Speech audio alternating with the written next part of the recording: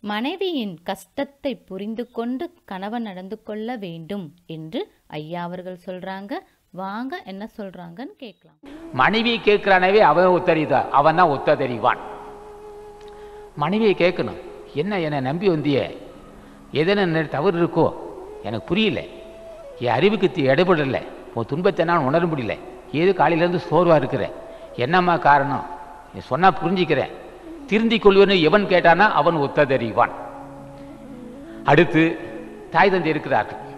நமக்கு கல்வி தந்தவர்கள். இந்த அளவுக்கு நம்ம வாழ்வதற்கு காரணமானவர். நம்ம மலைச்சாலத்தை அள்ளிய தாய் நமக்கு கல்வி தந்த தந்தை.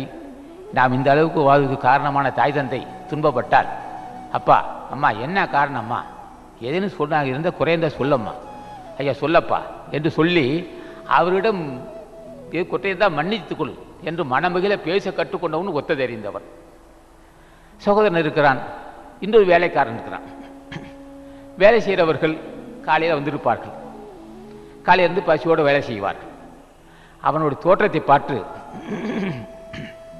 அவன் தோற்றத்தை பார்த்து பசியோடு இருக்கிறான். காலையிலேருந்து பசியோடு இருக்கிறான்.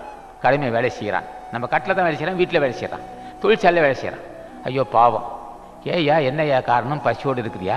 ஏன் சோர்வாக இருக்கிறேன் என்ன காரணம்? என்று ஆறுதலாக பேசி அவன் பசி தீர்க்க முயற்சிப்பவன் ஒத்தாது அறிவான் இல்லை என்றால் செத்தார்கள் வைக்கப்படணும் அவன் அடமானும் பெணம்னு சொல்லிட்டான்.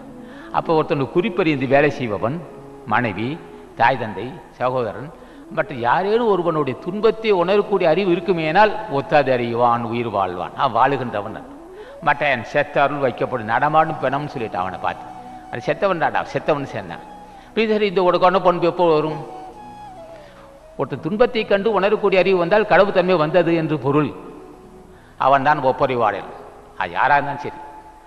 இப்போ ஒரு ஆடு மாடு இருக்குது ஒரு ஒரு மா தண்ணி வைக்கணும். ஆடு மாடு இருந்தாலும் சரி. இப்போ சில இடத்துல நீங்கள் நான் கூட விரும்புகிற ஒரு ஆடு மாடு இருந்தால் கூட அதுக்கு தண்ணி வைக்கணும். அதுக்காக ஒரு இது. இப்போ எனக்கு அடி அடிவாரத்தில் வைக்கிறோம். அடிவாரத்தில் உள்ள காலனி கஞ்சியை கொண்டு போய் ஆடு மாடு கொடுக்குறோம். ஆடு மாடுக்கு தேவை வாரம் தினம் இப்போ மேலே உச்சியில் வந்து ஒரு நாற்பது ஐம்பது குரங்கு இருக்குது அந்த குரங்குகளுக்கு இங்கேருந்து தினம் காலையில் சோறு போயிட்டே இருக்கு. அது வாயிலா ஜீவன். அந்த வாயிலா ஜீவனுக்கு கொடுக்க வேண்டிய யாரும் நம்ம கேஸ் போட மாட்டான். இது அன்பர் அன்பர் சங்கர் கொண்டு போய் மேலே அன்பர் அன்பர் சங்கரும் மற்றவரும் கொண்டு மேலே ஒரு அறுபது குரங்குக்கு ஒரு ரெண்டு மூணு பக்கா சோறு வைக்கிறோம். அங்கே காகத்துக்கும் அதுக்கு உயிர் பறவைனங்களுக்கும் சோறு வைக்கிறோம். கால்நடைக்கு போய் வீட்டிலே தண்ணி கொடுக்குறோம். கழனி கஞ்சி தண்ணி கொடுக்குறோம். அப்போ அந்த அதுடைய உணர்வு. யாரோ யார் வீட்டு மாடோ யார் வீட்டு மாட்டுக்கோ நாம் கொண்டு போய் தினம் கழனி கஞ்சி தண்ணி கொண்டு போய் இந்த ஆறு ஏழு அஞ்சாறு தொண்டர்கள் கொண்டு போய் ஊடு ஊடாக போய் ஆட்டுக்கு மாட்டுக்கு தண்ணி கொடுக்குறோம். குரங்கு கொண்டு கொடுக்குறோம்.